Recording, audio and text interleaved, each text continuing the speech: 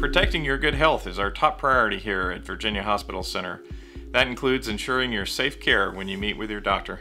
Hello, I'm Dr. William Anderson. I am the Senior Vice President for the Virginia Hospital Center Physician Group.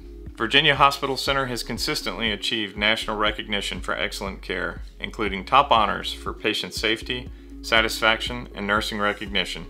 These are distinctions achieved only by elite hospitals. We've taken a number of precautionary measures to ensure the health and safety of our patients, our staff, and the community. If you come to the office for a face-to-face visit, everyone is screened upon entrance. We take temperature readings and provide all patients and visitors with a mask to wear. All exam rooms and common spaces are deep cleaned and sanitized regularly. We've rearranged our reception areas to help maintain safe social distancing and increased hand sanitizer supplies. All staff and patients have ready access to personal protective equipment.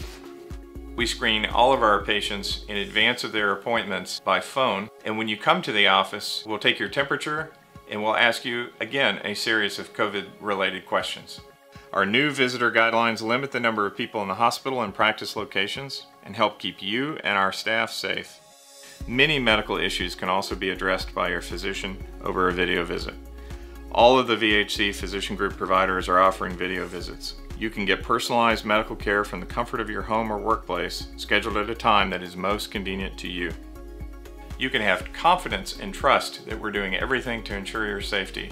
We look forward to seeing you, whether in a video visit or face to face. All of us at Virginia Hospital Center are committed to your comfort and overall health and safety. To learn more about how we are keeping you safe, please visit vhcphysiciangroup.com.